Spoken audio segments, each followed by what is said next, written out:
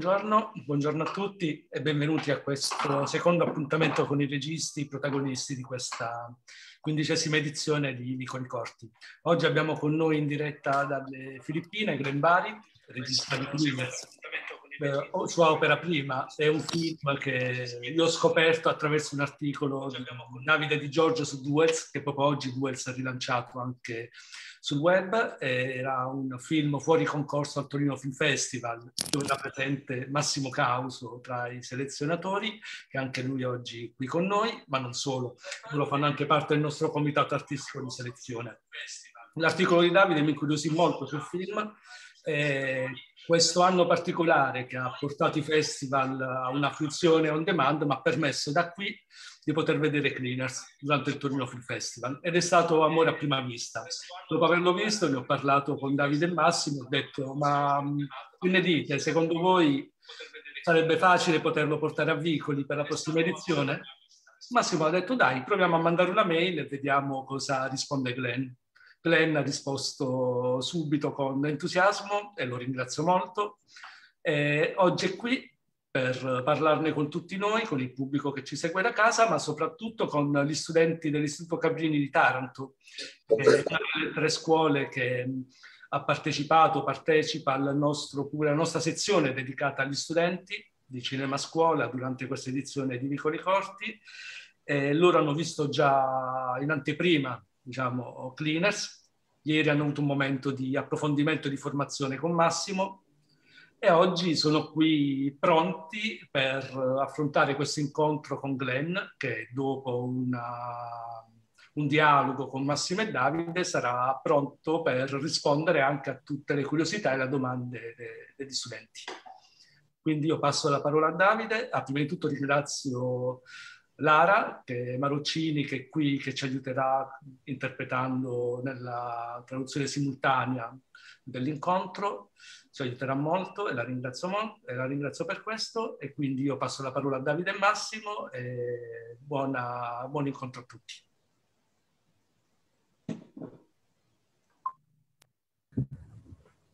Grazie Massimo, vai tu o vado io? Vai tu.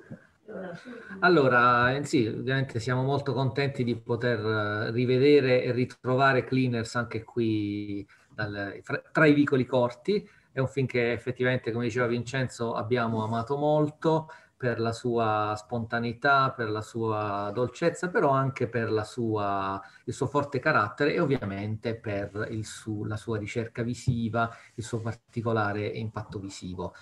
Ecco, io penso che sia pressoché inevitabile iniziare proprio da questo, per cui io chiederei a Glenn se ci vuole raccontare come materialmente è stato fatto il film per avere questo look così particolare.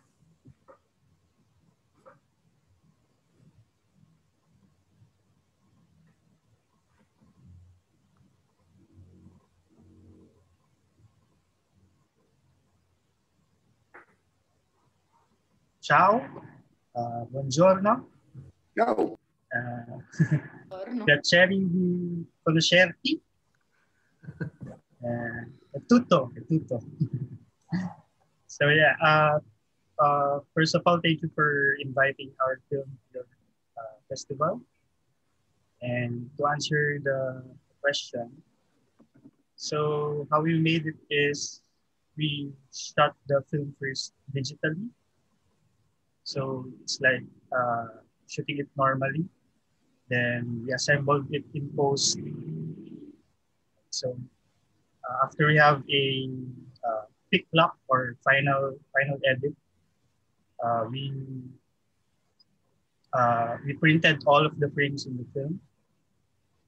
So after we printed them, uh, we then uh, did the did manual highlighted the films. So after we manually highlighted them, we assembled them back again to scan to a scanner and assemble it again to, to make this digital file again. So, so that's the entire uh, uh, post-production process of the film.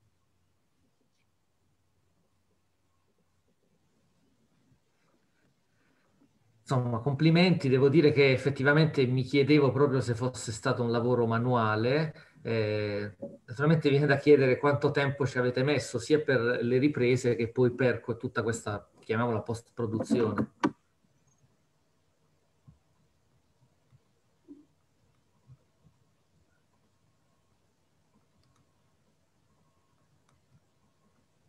So here in the Philippines, uh, gaining budget for films is quite difficult. So we had to rely on local film festival grants to, to produce our films. And it's somehow crazy because uh, when we submitted to that festival, Q Cinema International Film Festival, uh, we got selected uh, February of 2019 and we had to screen the film October of the same year. So roughly it's about just eight months for the entire entire process, like uh, looking for additional funds for the film, shooting the film, doing the post production. So yeah, so the entire thing was about eight months. Uh, we shot uh, for two weeks, then after shooting it straight to post production until uh, finished the film maybe days before the festival premiere. Yeah, that's uh, everyday work of, of doing post production.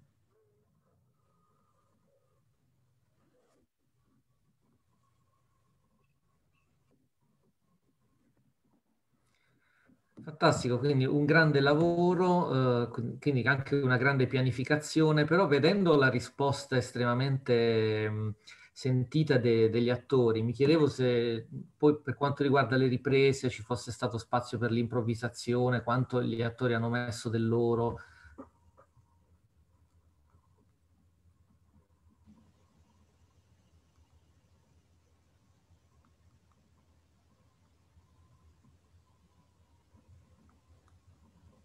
uh, there's uh, there's some improvisation along the way, but since we're shooting quite uh, rigidly or strictly, we had to plan the entire thing and don't have like we don't have much room for for improv there. But all of the actors were were non-local actors, so uh, geographically we're, we're far north from the from the capital where we shot the film. So yeah so the film was shot in my hometown and it's hard to get the nuances but it's a like a very rural, rural very regional film. And so we employed local actors who are uh, non-professionals. And so yeah they they once in a while they bring in their own uh, their own like uh, taste, uh, uh, their own interpretation of, of the film uh, through their dialogue, through their acting. Yeah. Since it's also a like a period film, it was shot uh, or it was set in it is set in 2007.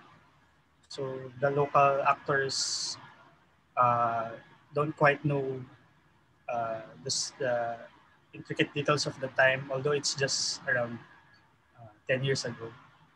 But uh, still they, they, they were able to input much in the, in the script there. And we, we also allowed them that, uh, that space.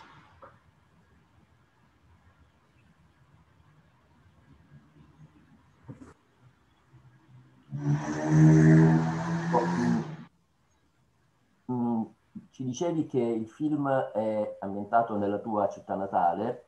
Eh, volevamo chiederti eh, quanto eh, faccia riferimento alla tua esperienza personale, alla tua eh, storia e ehm, ci interesserebbe anche ehm, capire eh, il contesto in cui, sociale in cui è ambientato. Ieri ne abbiamo parlato a lungo con, con gli studenti ho cercato di eh, raccontare loro la società e la storia filippina. Eh, però sentire da te credo sia importante anche eh, per quanto riguarda eh, il contesto di questa scuola, mm, è un, un, istituto cattolico privato. Ecco, ehm, raccontare un po' eh, dove è ambientato il film, com'è il vostro sistema scolastico, che relazione c'è tra la società e il sistema scolastico e tutto questo.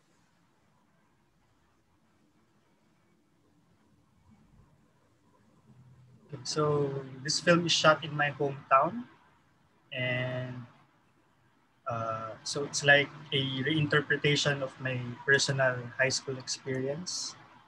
So when I was writing it, I uh, I graduated 10 years since then from high school. So I feel like I have this huge treasure chest of, of, of memories and experiences during the time that I can put in, into this film. So yeah, so it's very personal. Some of the characters there are are loosely based on me and my classmates. Like the end of the film is we did something similar uh, back in our last day in school. So yeah, so it's uh, very, very personal at, at least. And regarding the social aspect, so the school system here is uh, still quite uh, deep into like its colonial roots. Like since we were colonized by different uh, different uh, different countries, so first we were occupied by, by Spanish for 300 years. Then we were occupied by the Americans. Then we have the Japanese and so forth. So there, so we're very, very, uh, like our culture is a mishmash of different, uh, different cultures. So there, so it also reflects, I think, in our school system because we still have a lot of like uh, Catholic high schools. So it's most of our schools are still very religious, and we have uh, we have private schools that are governed by by Catholic institutions. So there, so and it's sometimes quite restrictive, like in in the way it can control or mold students during high school. So there. So and we're also we also have this American uh, influence. Like we, we we're very much ingrained with with American culture. We have uh, English language classes that are I think too much and don't get uh, some of our Filipino like innate Filipino culture are not as prioritized. So there, so, so our school system is very much a product of a colonial, mm. a colonial rule and experience. And that's what that's I think what uh, we also try to to break and miss and to break and like uh, uh, or think of ways to go around that uh, that uh, kind of system kind of school conditions.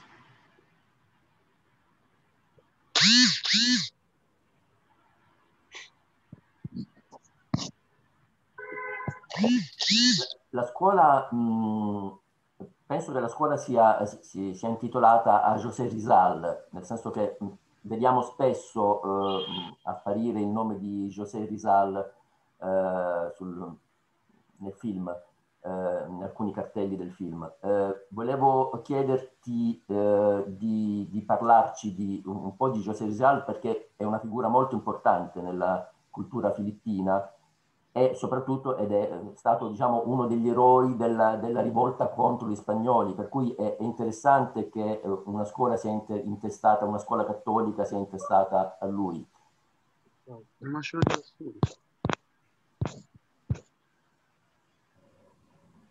So, uh, so just for context, Jose Rizal is our uh, like a national hero.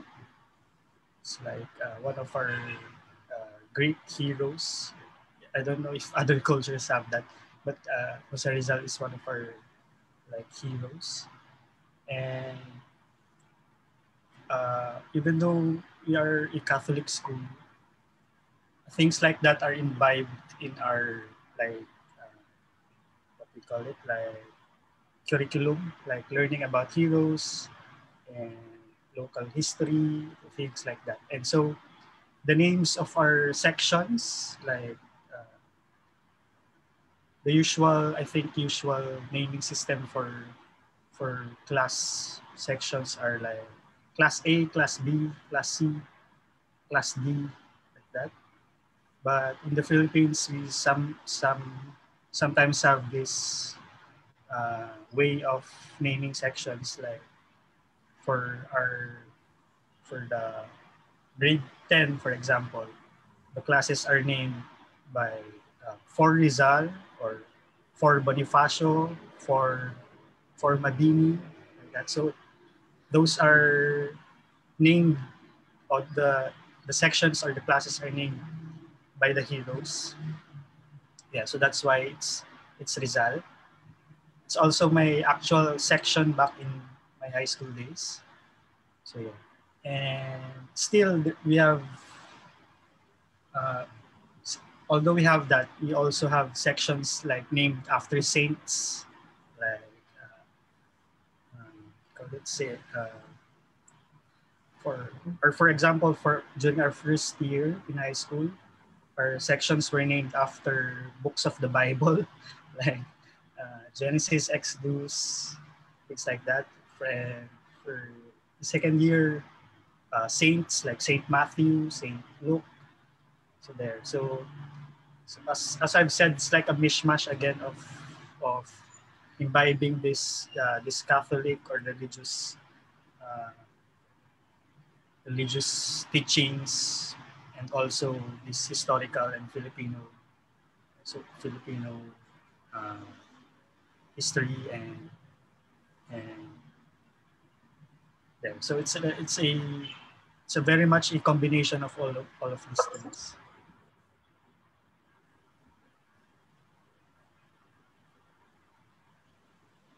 A proposito di, di commistione, ehm, mi, mi, chiedo se eh, l'istituto eh, in cui hai inventato il film e che hai frequentato tu, ma in genere il sistema scolastico eh, filippino, sia trasversale, ovvero sia se le classi sociali eh, che sono presenti, che sono ammesse, sono eh, differenti o, o c'è una stratificazione nel, nel livello eh, scolastico. Te lo chiedo perché eh, nel film eh, ci sono, mi sembra di cogliere una certa differenza di, di provenienza sociale tra i vari protagonisti.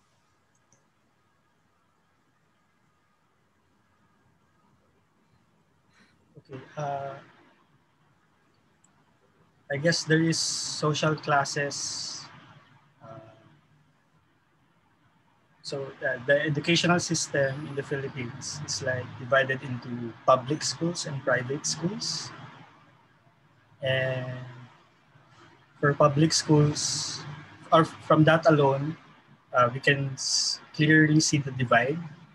So for public schools are more for like lower bracket, lower income bracket uh, students, uh, lower income bracket families. And for private schools, these are the Catholic Catholic schools usually.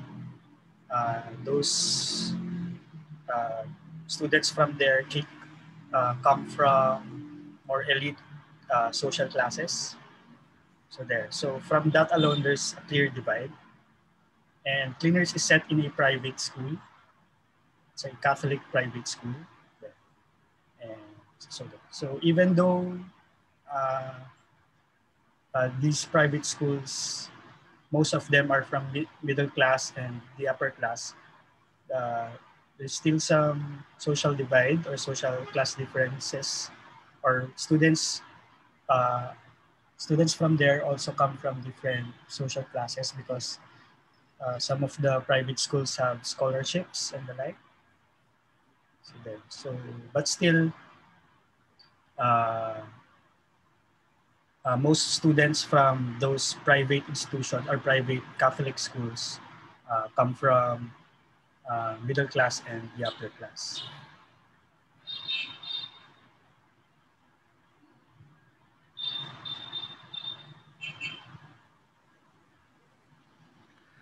Ok, io quindi abbiamo parlato dell'aspetto formale, abbiamo parlato del, diciamo, del contenuto, proviamo a unire queste due, queste due anime del film. Quindi tornando un attimo all'aspetto visivo, um, io ho visto che ci sono anche i ragazzi, credo che sia, non so oggi quanto sono usate le fotocopie di carta, però all'epoca sicuramente era materia corrente fra gli studenti eh, fotocopiare libri o appunti e quindi questo aspetto visivo da un lato richiama appunto l'idea delle fotocopie a uso studentesco, però credo che ci sia anche un secondo livello di lettura dato dal fatto che il film, che è un film intitolato a persone che puliscono, in realtà è un film sul, sull'esigenza quasi di, di sporcare di, dei corpi che si devono sporcare, lo vediamo in tutti i film, o comunque di personaggi che sono percepiti come sporchi. Eh, quindi diciamo la, la, riflessione barra domanda è appunto su questo concetto della sporcizia come libertà. Non so se è una lettura co- corretta.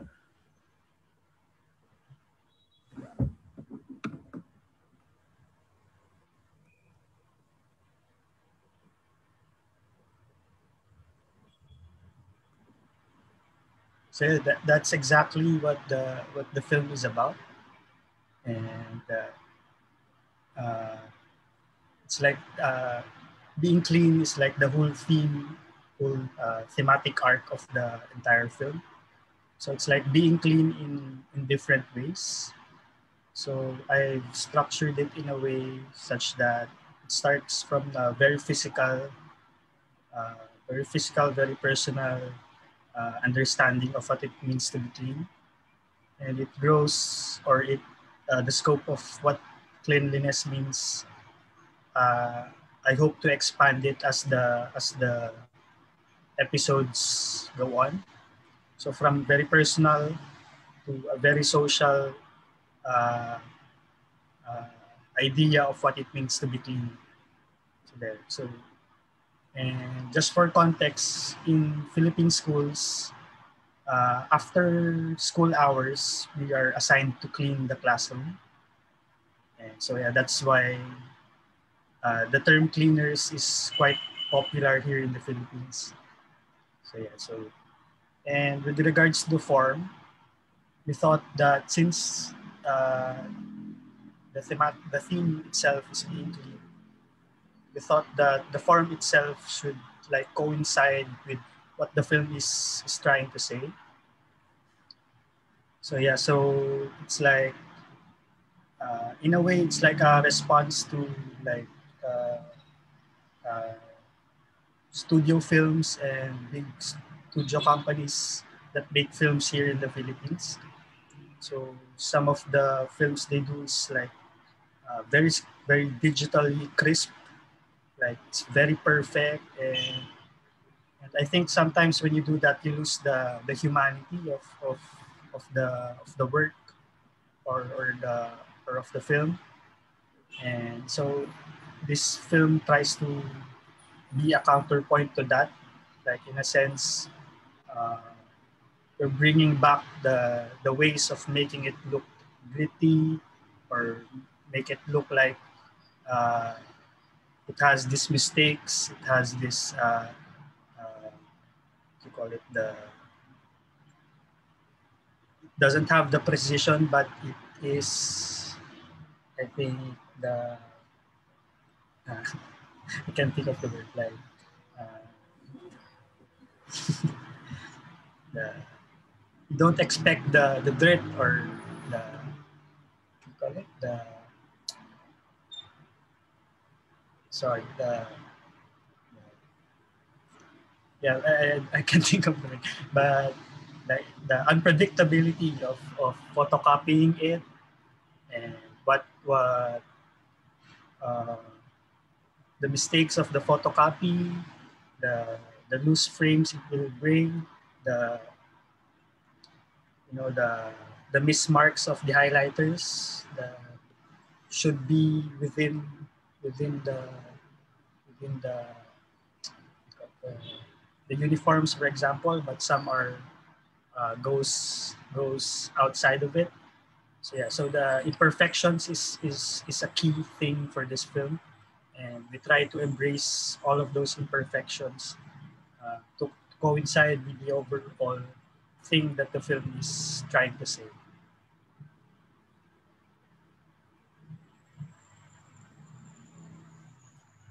Ecco, e, diciamo, mi incuriosisce questa cosa che hai detto, cioè eh, questi cleaners quindi diciamo sono visti come essere un cleaner è un ruolo diciamo importante perché dal punto di vista nostro, forse anche per il retaggio dei film scolastici occidentali, invece terremmo più a pensare che sia una specie di punizione, adesso vi tocca pulire la classe.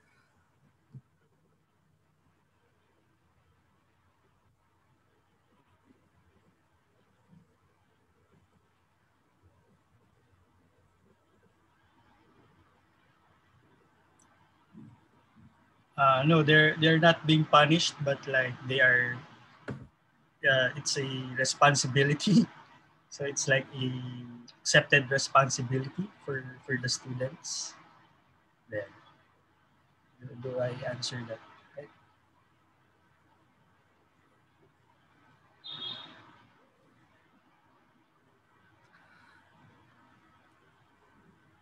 Massimo, sei ancora online perché non ti vedo più. non so se nel caso ci sia stato un problema. Comunque, volevo chiederti poi un altro aspetto relativamente alle, alle canzoni. Nel film ci sono molte canzoni che for- fungono anche un po' da commento rispetto alle situazioni. Quindi volevo sapere se ci potevi raccontare un po' questo aspetto. Se, e se sono canzoni preesistenti o create appositamente per il film.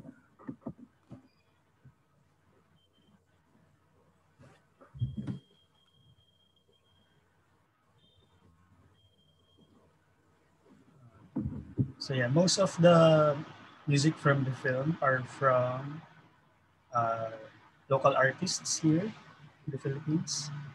Some of the parts that I scored are only just for the incidentals.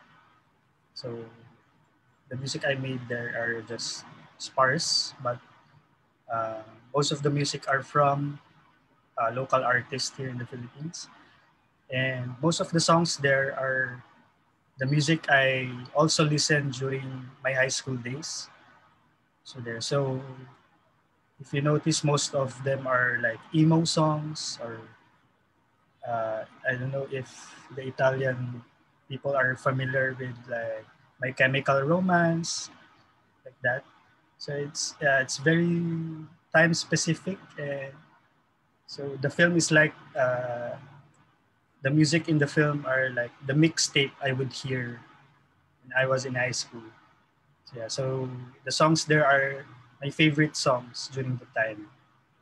So there. So I think that by doing that, it it, it you know aligns the film to its period, but at the same time, it uh, it somehow brings I don't know if for other people's nostalgia, but for me personally, it like uh, the music uh, transports me back to that time. So that's so the music is very crucial for me personally. There and aside from the music from that time, we also used music from uh, from local artists there in my hometown. So like the first track you hear or the first music you hear during they were cleaning at the start of the film. It's made by a uh, famous musician from our hometown. Yeah, so just for context, our hometown is very small. It's very rural, very rural, very rural, and it's also the first film made there in that region and in that city. So yeah, so it's like a way of showcasing also uh, different local artists that, that uh, imply that we have artists there and we can have a community of artists. Uh, we just have to show them and make it uh, more accessible to people.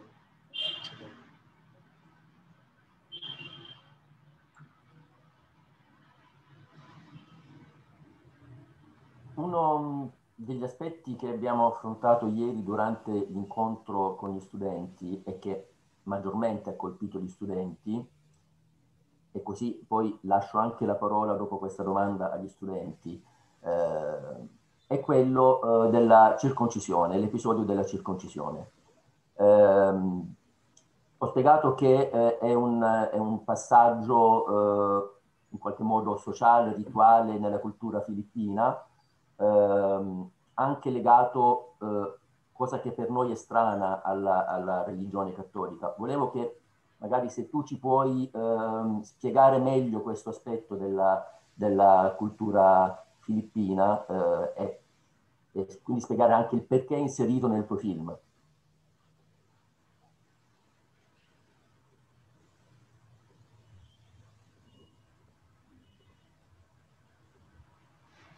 So yeah, uh, circumcision.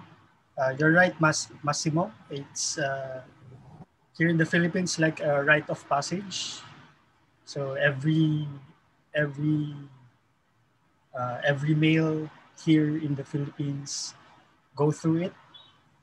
So it's like uh, it's a, a, very uh, it's, uh, it's it's like very normal. It's very uh, imbibe in our culture that we have to get circumcised at this certain age. Yeah, so for that character, he hasn't been circumcised for, uh, he is late for being circumcised. So yeah, so it, uh, it becomes like a laughing point for other people. So there, so I guess because we're, we're like a, a Catholic country, like that. So the patriarchal patriarchal notions are very strong. So machismo is very strong in our country. So being circumcised is one uh, like one manifestation of that. So when you're circumcised, there, there is this perception that you are more manly or you have transitioned into being, being a man like that. So in a way, circumcising yourself is like uh, taking that whole machismo and uh, making it your own. Like I don't have to do to be circumcised in like the social aspect or uh, parang I I can take uh, parang parang here when he circumcised himself like here's your machismo like that. So it's like here's your patriarchy. Uh, I'll throw it in your face. Like that. So it's like a response to that whole, uh, whole like notion of, of uh, being macho, being, being manly. So parang I'll take being manly doesn't mean like being strong in itself. So parang he, he's taking uh, the courage or the strength within para, and not in a social manner. So like by doing it by himself through his own agency, like he showcased his own strength, not based on like a patriarchal way or or or like uh, parang he took he took uh, machismo in his own terms or he takes oh no that's wrong he took strength in his own he interpreted strength in his own way. I guess.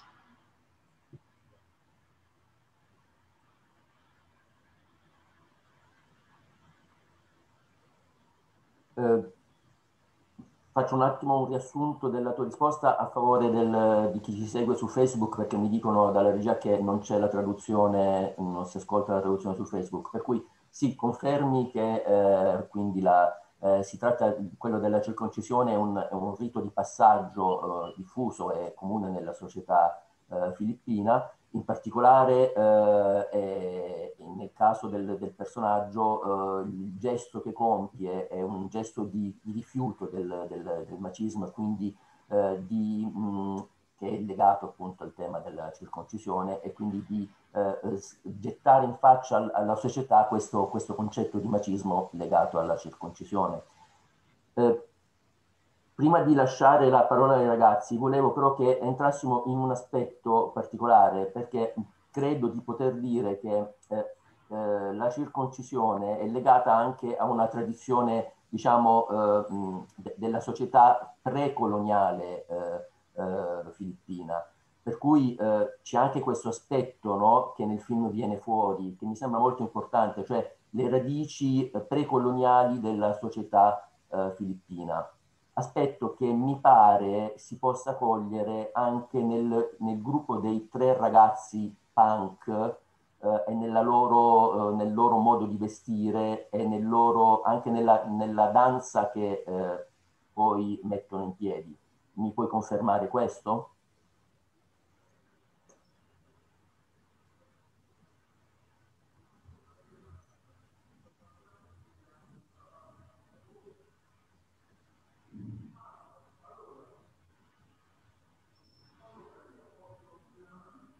Uh, I thought of the second second uh, second episode as also what you said a uh, because uh, emo culture is very much an American culture.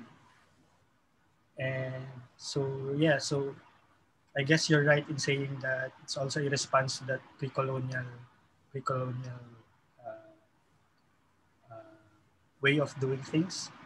So since we have, I thought that bringing in American culture, I thought about this and I think it's not necessarily wrong in a way because like as it happens, it, it becomes our experience experience and we can't do much uh, much about it. Uh, maybe in like uh, future uh, so so since we have like this American culture coming in, I thought that the response shouldn't be to resist it, uh, resist it outrightly, but to interpret it in such a way that uh, maybe there's a way to meld in local culture that in a way that it does not dominate each other.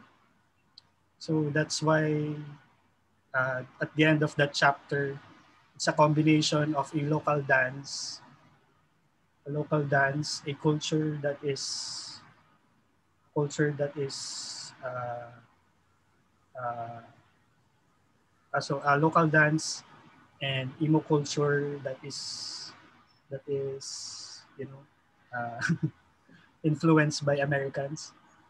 So yeah, so it's like a maybe we can combine these things, not necessarily see them as binaries, like uh, because those are our experiences, and uh, we only can learn from them and interpret them in the future, and maybe. Uh, but uh, I'm saying I'm not saying that the American rule or our colonials uh, made us better or whatever. We we we still resist uh, the colo- because we have so much lost because of that colonial uh, colonial rules. But uh, looking at it now, maybe we can interpret it in a, in a different way. And we can't do much about the past, but maybe we can interpret it and and do it in a different way or look at a different perspective. So that's what uh, what I intend in the end of that second chapter.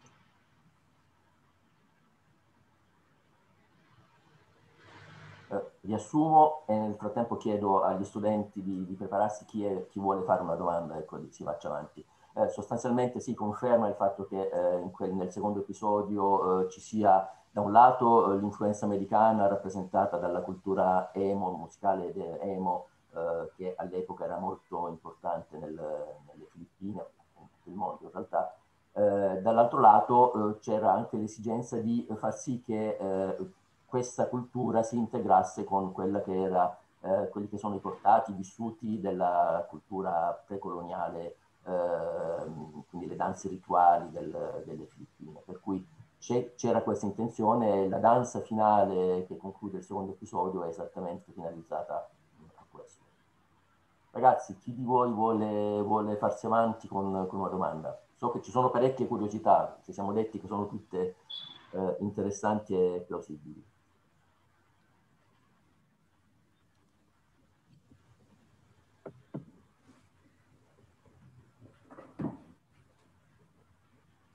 Io volevo chiedere, cioè, quanto tempo ho impiegato per realizzare questo film? Intendi proprio tecnicamente, penso, no? la, la, la, la realizzazione tecnica. Sì.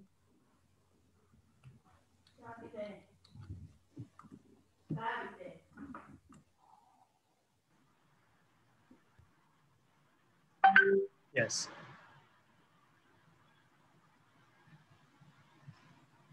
So pre-production took around maybe five months for pre-production. So uh, gaining all the crew that we should have and auditioning actors. So pre-production is around five months. Shooting is shooting it is two months.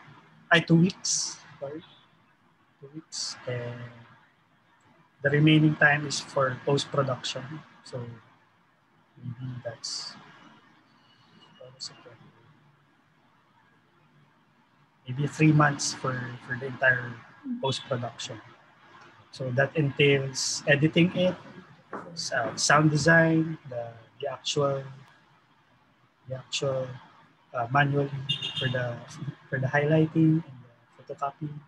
So, yeah, so maybe around three months for the entire post-production.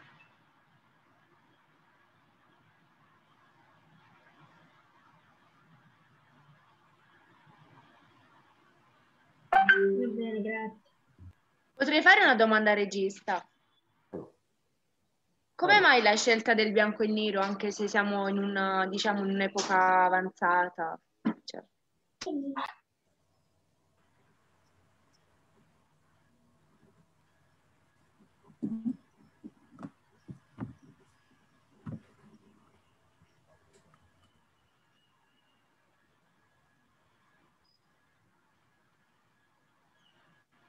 Uh, I think it just made sense eventually uh, to do it that way because first, uh, since it is a high school film, I wanted the film to feel like it is a high school project. Like it's, it's actually made, like the materials used during the time is the actual materials that we will be using for this film there. So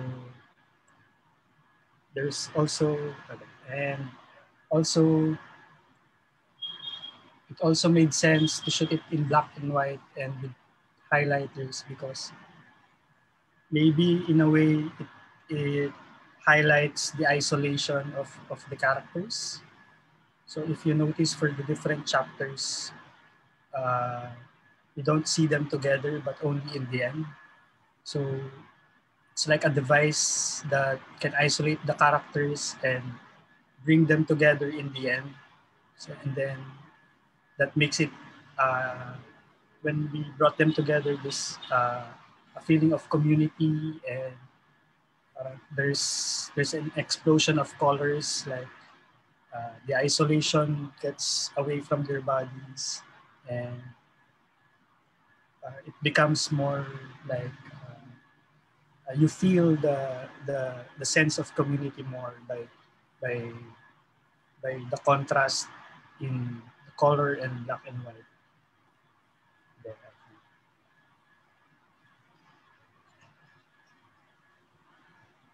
Io ho una domanda. Ieri il critico ci raccontava che avete stampato, fotocopiato e colorato la maglietta di tutti i personaggi singolarmente. Com'è nata questa idea di realizzarlo in questo modo? E poi di fare lo stop motion?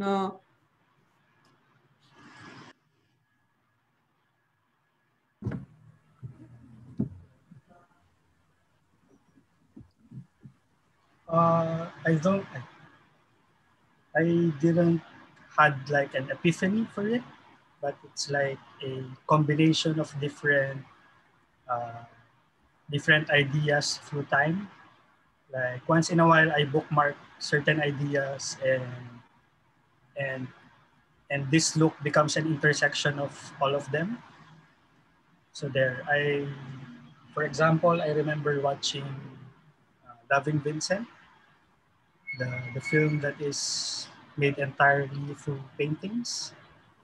So when I watched it in the big screen, I was very, uh, very fascinated by, by by how it looks very man, very handmade. So there, so so that's one. I wanted to uh, also make a film that looks very handmade, very tactile, like it's made by actual people, like by actual humans. So there, that's one idea, and that's why I, I pursued this this kind of form. And yeah, there are a lot of things I can think about. Like my my friend was doing animation also, and she's trying to to to doodle a to doodle a live action film. So one of her films is doodling the actual digital frames. So that is also something that I borrowed from her. So there. So this this kind this type of form is a combination of different uh, influences and experiences and things I I got along the way.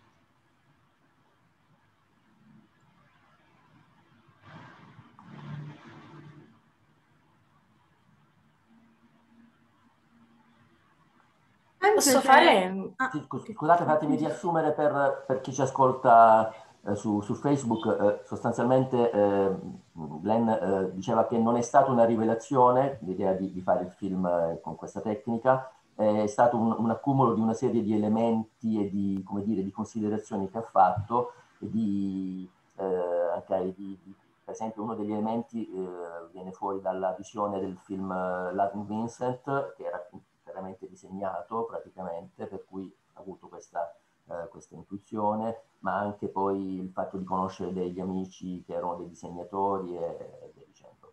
Eh, più o meno questo. Eh, prego. Um, io ho una domanda da fare, no?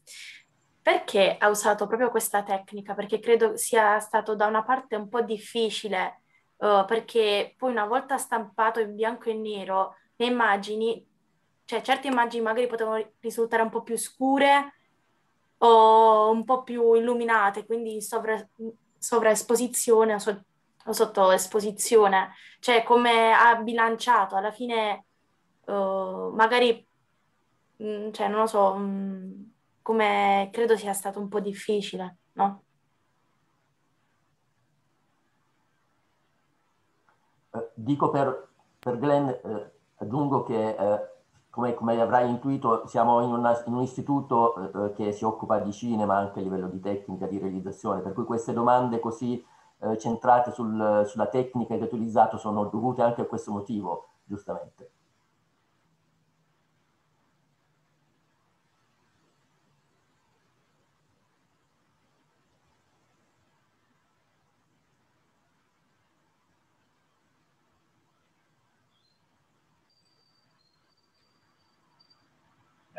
So yeah, for the the first the first thing I'd like to say is uh, we embrace the mistakes.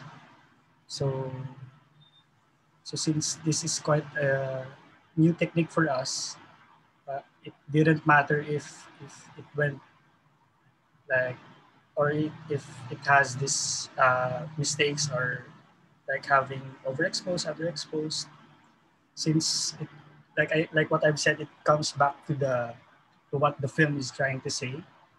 So the mistakes are very much welcome there, but uh, still, uh, we didn't want the mistakes to be too wild, like, and it becomes too amateurish if if the mistakes are very prominent. So what we did is while shooting it digitally, uh, we we used a LUT or LUT while shooting it. So you already know what it looks like when it is black and white. So there we used a LUT and by, by doing that, you can already see what it looks like and what it can, uh, what it might appear on a, on a piece of paper. And we also did some test shoots like we did two very short films, uh, uh, two very short films that that uh, uses this process. So by doing that, we, we can already test uh, what might go wrong or, or what are the things that we can improve on. So, and we also use we also use the test shoots for became like our pitch videos for for for our producers. Yeah, so uh, we had to test it first because it's it's like a very laborious process and it's time consuming. We had to test the waters first, and when we saw that it looks looks quite okay and and it fits like what what we intend, uh, we we had a go signal and we made the film.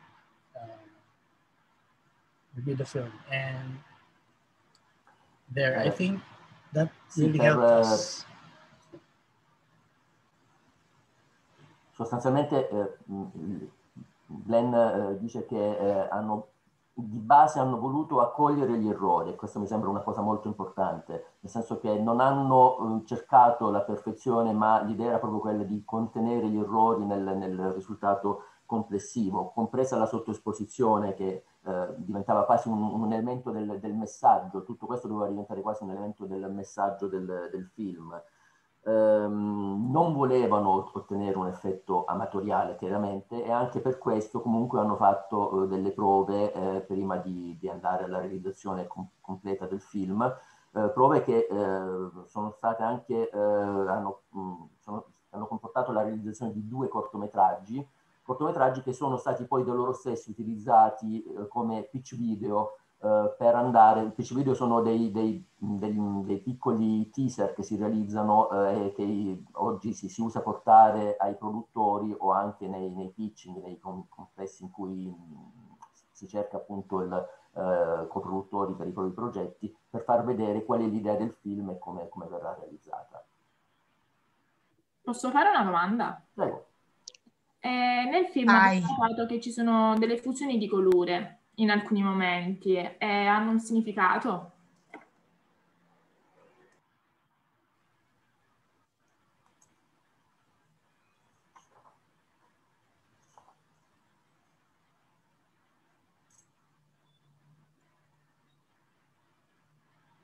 Okay, for the third chapter, if you remember, the circumcision part and the, the teenage pregnancy, So it's like a that that chapter is like a gender study in a way.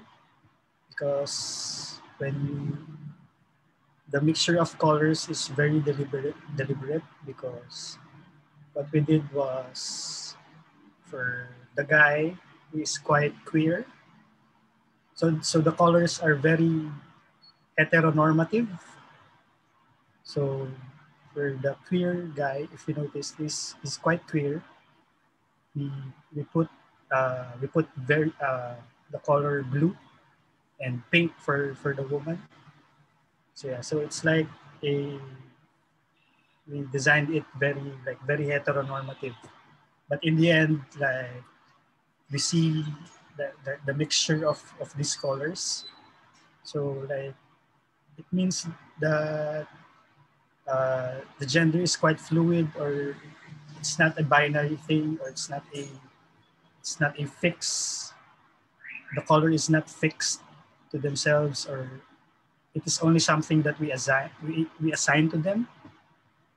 So yeah so we see a strong uh, strong woman driving driving the motorcycle.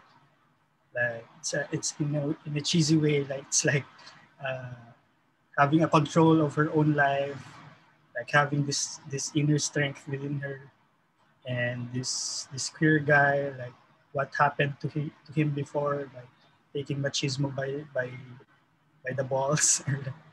so yeah, so it's like so it's a response to the he- our heteronormative uh, notions like it's it doesn't have to be that way so that's why the mixture of colors is very deliberate and the end, I think we just wanted to, in the end, it's a very wild uh, all of the colors are there.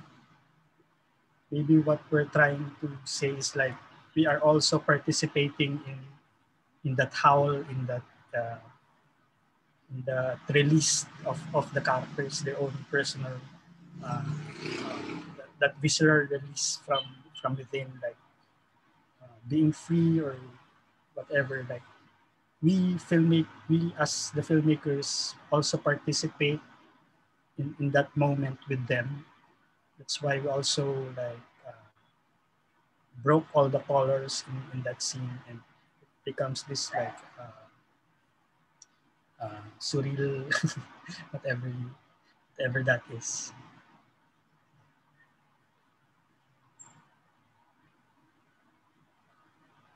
Sì, nel, nella scena finale alla quale faceva riferimento la, la, studentessa, eh, c'è, dice Glenn, un, un rifiuto della, di quella che lui chiama l'eteronormatività, ovvero sia eh, l'utilizzo dei colori, eh, eteronormatività cromatica, l'utilizzo dei colori secondo un, degli schemi eh, per cui il, il, l'azzurro è per gli uomini, il rosa per le donne. In questa scena finale c'era questa commissione, questo mix di elementi che eh, era finalizzato un poco anche alla sua, eh, alla sua idea di creare una visione fluida eh, di genere nella società, eh, corrispondente anche alla, alla, al gesto del, eh, antimacista del, del ragazzo no? Eh, nella, nella, scena della circoncisione, e, e quindi creare una comunità partecipata in qualche modo, in cui l'identità è un qualcosa di partecipato, l'identità di genere è un qualcosa di partecipato ed era anche un'idea eh, proprio riferita a se stesso come regista e a tutta la comunità de degli autori, insomma, dei filmmaker che devono eh, in qualche modo contribuire a questo tipo di, eh, di, di idea. Allora... Ma per caso anche gli altri colori che avete scelto hanno un significato? Ho visto che aveva la ragazza la maglietta verde, gli altri tre la maglietta arancione, hanno un significato armocromatico? Allora, scusatemi, prima della risposta di Glenn, ehm, voglio dire che questa purtroppo è l'ultima domanda perché il tempo sta per scadere eh, e quindi adesso ascoltiamo la risposta di Glenn e poi passiamo ai saluti finali. Grazie. Va bene.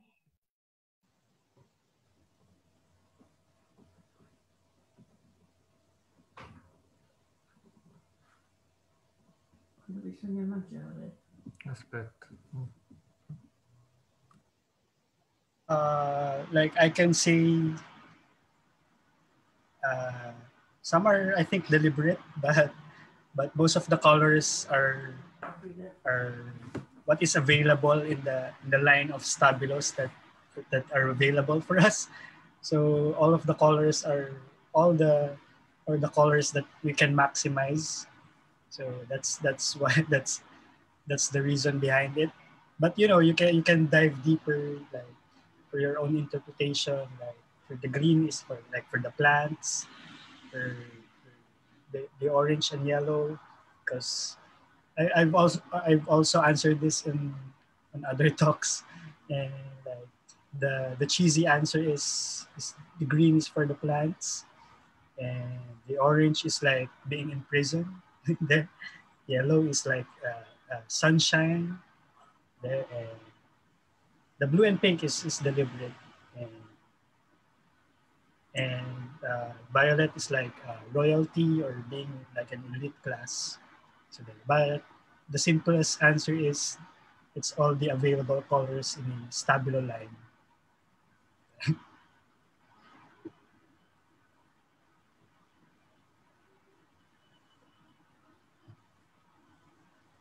Va bene, ovviamente, grazie. Ovviamente il, diciamo, il, la, domanda, la risposta tecnica è legata al, ai, al, alle nuance, alle, ai colori del, che sono dei, degli evidenziatori stabili, che sono quelli utilizzati, insomma. Eh, ovviamente poi c'è un senso per, per ognuna dei, dei, colori, in qualche modo c'è, nel senso che la ragazza eh, nel primo episodio è verde perché è legato appunto al tema della natura e via dicendo, insomma. Eh, Bene, allora, si conclude qui l'incontro con Glenn. Uh, ringrazio tantissimo Glenn per essersi collegato con noi dalle Filippine, il suo film è in programmazione già in queste ore eh, sulla piattaforma My Movies dedicata a Vicoli Corti. Un grande grazie a Lara per la traduzione e a tutti gli studenti e gli insegnanti dell'Istituto Cabrini per aver accolto con piacere e entusiasmo la nostra proposta e per aver partecipato a questo momento molto importante anche per noi di formazione. Quindi grazie a tutti, continuate a vedere i nostri film e corti sulla piattaforma e se volete collegarvi stasera alle 19 c'è un altro incontro con un altro regista, vi abbiamo fornito gli accrediti per vedere tutti i film, quindi potete vedere anche Profondo di Giuliano Giacomelli che rientra nella coprogrammazione tra Vicoli Corti e Monsters e Taranto Horror Film Festival. Quindi grazie a tutti e ci vediamo presto. Grazie a lei. Salve. Grazie a lei. Buona giornata. Salve. Ciao. Buongiorno. Buongiorno. buongiorno. Buongiorno.